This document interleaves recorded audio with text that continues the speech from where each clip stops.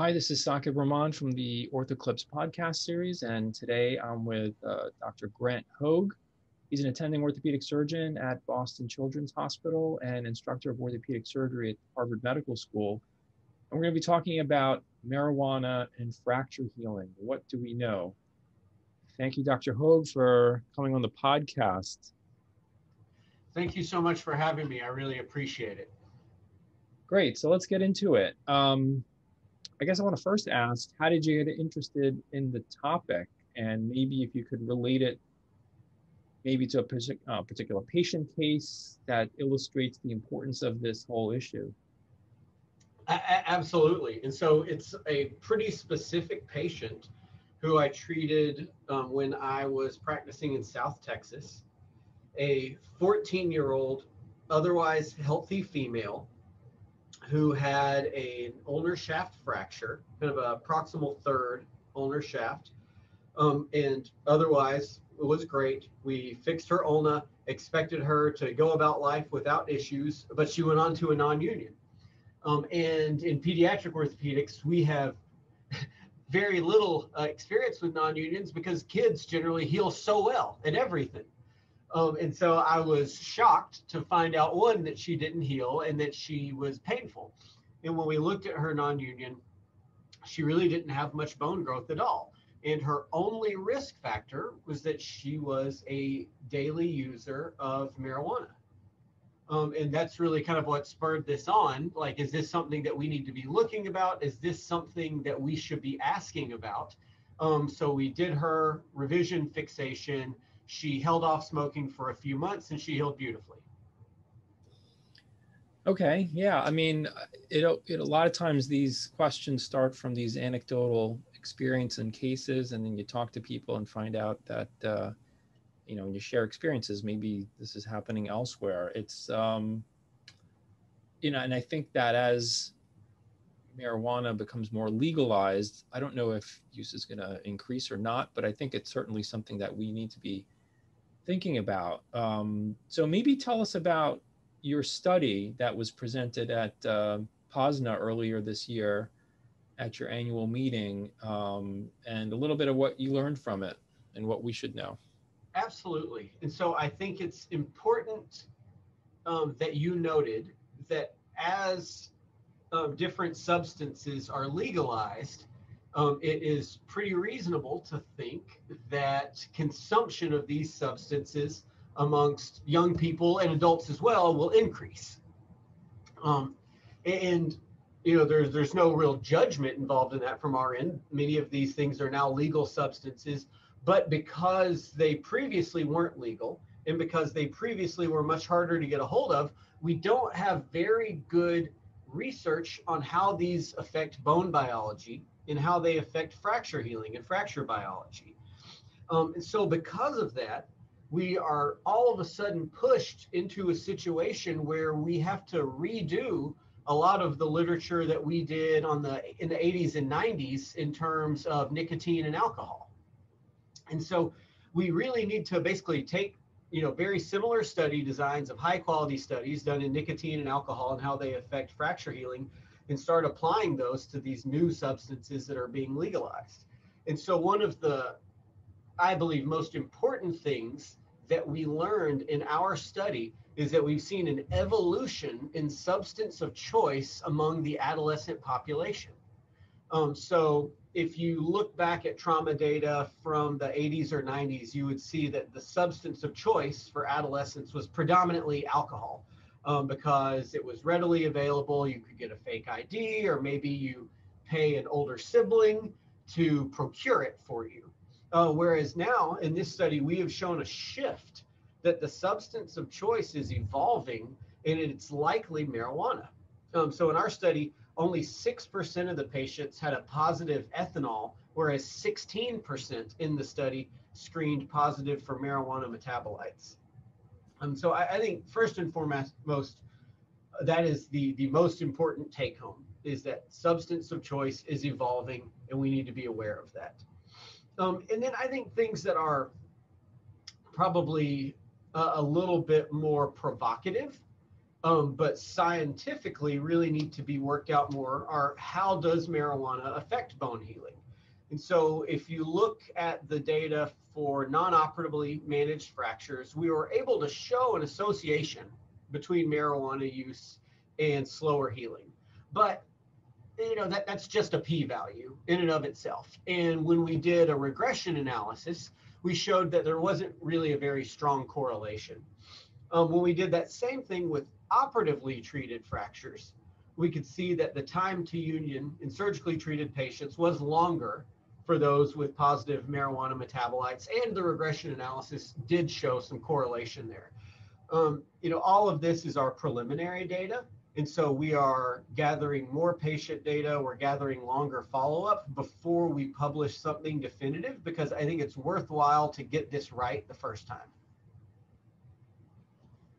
Yeah, that's some interesting points, especially about how I guess you really were looking at um, the question of starting with your patient. Um, does marijuana use potentially have an effect on delaying fracture healing or being a risk factor for non-union? But I guess in your study set, you were able to also just kind of show the prevalence of this versus alcohol use. Am I hearing that correctly? Yeah, absolutely and I think that's something that 10 years ago we definitely would not have seen. That's interesting.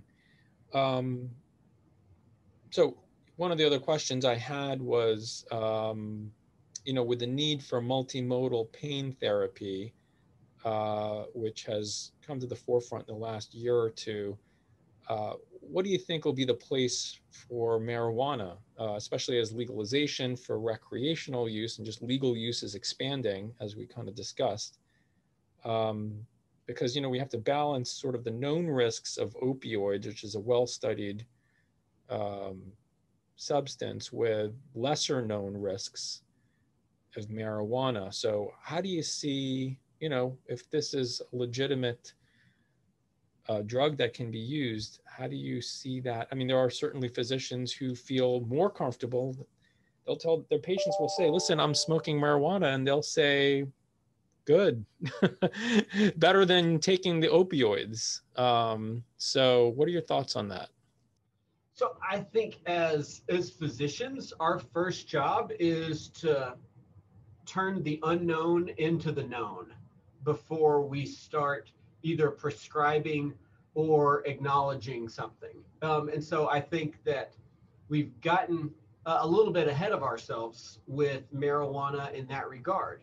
And so I think maybe the first step isn't just to say, hey, let's sign off on our patients using marijuana, but maybe the first step is determine which substances within marijuana are going to be particularly active in the pain control setting.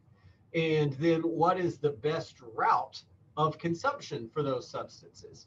And so i think particularly in the the pediatric setting that's difficult to do because we can't just let our patients you know smoke marijuana because it's still not re- legal for children but there are a lot of ongoing studies with cbd oil um, rather um, rubbed on the skin or you know taken orally and so i think in pediatrics that'll be the first step um, in overall orthopedics, I, I think that we need to be a little bit better with our basic science before we completely sign off on a new substance.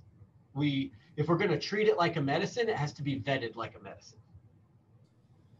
Yeah, and you brought up um, a couple of points about another question I was thinking about was, you know, I think your um, your investigation was a retrospective study. You know, started with a question. You kind of clarified a patient case that made you think about it and um, you found some statistically significant data you, you you know you sort of acknowledge that we probably need to uh, learn a lot more here um, and there's definitely i feel like there are challenges with investigating this. I mean you just brought up one point um, you know it's illegal for children. So how do you know if you really want to get better better data and you want to investigate it like a drug and that often means randomized control trials i mean that's probably not happening but um, so what are some suggestions uh, you have for investigators out there interested in looking at this? How do you sort of what are some concrete steps to kind of move forward?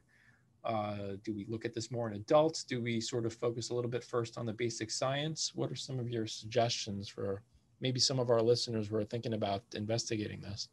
So I think that that the first step forward for any legitimate use over the long term, it, I, I think everything starts in the lab. You know, we we start kind of the basis of what is known at the bench, um, and whether that is in you know basic science or further along into animal studies and then human trials. Um, but I think the first part is determining which of these substances in which part um, are truly active in pain control. And there are some things that we can do along the way, you know, prospectively with patients. Um, things like CBD oil, which a lot of pain management systems are researching pretty heavily right now. I know at Boston Children's, it's something that our pain management group is really looking into. Um, but I think that, you know, the answer of, you know, are randomized controlled trials ethical? Certainly not in children right now. Um, prospectively in adults, I think if people are already using something recreationally, then you can prospectively, you know, use like what they're doing already to try to study it. But it's not easy, and so the kind of the the only easy answer is that we need to start in the lab. It's a really good point. Um, well, um, you know, a lot of our listeners are uh, residents and um, uh, they're just learning orthopedics. Any last, um, you know, parting words, tips, you know, for when patients are uh, in our clinics and we're seeing and treating them? Are you finding that you're having to teach your residents to think more about this, ask more about it? Um, any training tips on this topic uh, as we conclude the uh, interview? You know, I think, at least for me, what I learned from the situation with my patient that we talked about at the beginning, one with the non-union, is that I asked her if she took any non-prescribed medications or substances, and she initially didn't tell me. And the reason she didn't tell me is because I was not conveying to her that she could tell me those things without fear of me judging her. Um, and so I, what I would tell residents and what I would say we really need to work on is conveying to our patients that we are not here to judge you. We're here to treat you and help you. And if you'll just please tell me what you're putting in our body, in your body, I can do my job better. It's a great point. That's a great point. All comes down to uh, communication, doesn't it? And sometimes you think you're communicating, but you're not getting what you want because you haven't established that trust. So absolutely, and we we really do as physicians often people just to give us carte blanche with their trust, but that's not how it works. And that's that that's for me kind of a big personal take home is I need to work harder to build trust, particularly with young people. Great, great points. Very interesting stuff. Clearly, uh, uh, I think, you know, what do we know? We know a little bit, it seems like, about this, but it seems like there's a lot to learn and probably, uh, you know, some new directions to take, uh, like you said, to really find this out uh, and treat our patients um, with the appropriate knowledge that, uh, that uh, they deserve. Well, it's been great talking to you. I've been with um, Dr. Grant Hogue at uh, Boston Children's Hospital and Harvard Medical School. We've been talking about marijuana and fracture healing. Dr. Hogue, I want to thank you for coming on the podcast. It's been uh, it's been fun. Thank you so much. I appreciate it.